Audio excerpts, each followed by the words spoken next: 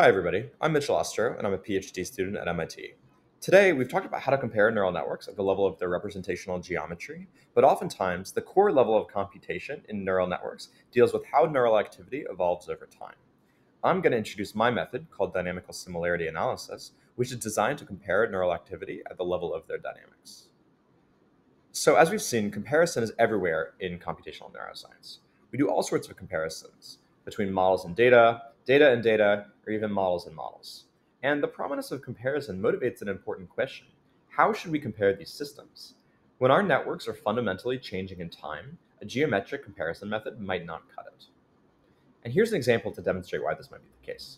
I've plotted noisy samples from three different two-dimensional recurrent neural networks here, as well as their condition averages in the darker color.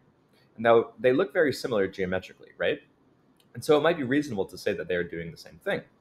But in fact, they have totally different internal dynamics that correspond to wildly different functions that the brain performs. The first one is a bistable switch, which has been used to model binary decision making. The second is a line attractor, which has been used to model how the brain tracks eye position.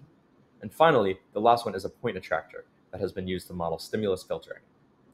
And this example raises a problem for a wide range of different pipelines in computational neuroscience that require comparing systems. And it's not limited to this specific case. It's incredibly easy to construct systems that disentangle geometry and dynamics. Yet, state of the art comparison methods like RSA, CKA, or Procrustes are all geometric, which means that these cases are in some sense adversarial for them. Now, you can try a number of ways to fit temporal data into geometric methods, such as time or condition averaging, but fundamentally, they're all still capturing geometry and not dynamics. So, what is similarity in dynamical systems theory? Suppose we have two different dynamical systems, f, and g, that have a mapping between them. That is, there exists some invertible transform phi that can align trajectories between each system. This means that the two functions that govern their dynamics are related as follows. But why compare the dynamical systems instead of the data x and y?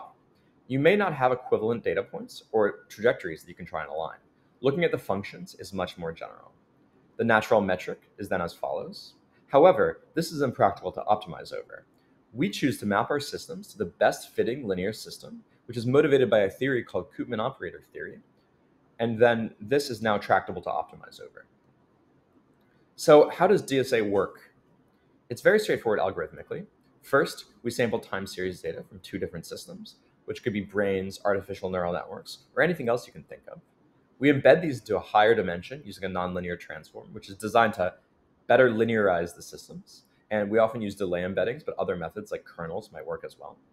Next, we fit a global linear model to the data to approximate the dynamics. And finally, we compare the dynamic matrices with this novel shape metric that captures the notion of dynamical similarity I previously described.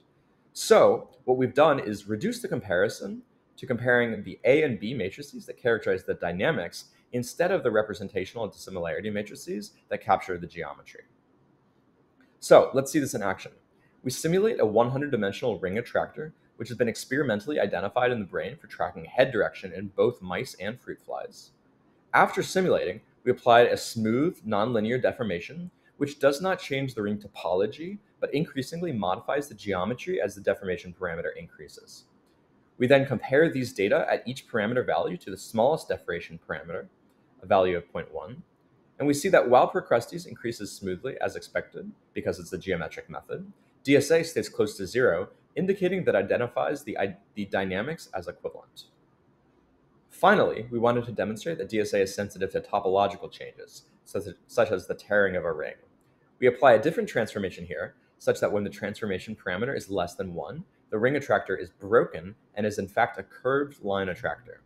As before, we compared the system at different parameter values the smallest value, and here we found that unlike Procrustes, DSA only jumps up away from zero when the parameter is close to one or the ring closes.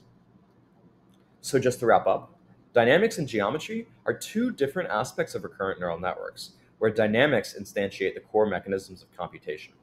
Our method, DSA, extends representational similarity analysis to capture core similarities in dynamics instead of geometry. We also have open source code that is easy to use and fast, and please check out the paper. Thank you.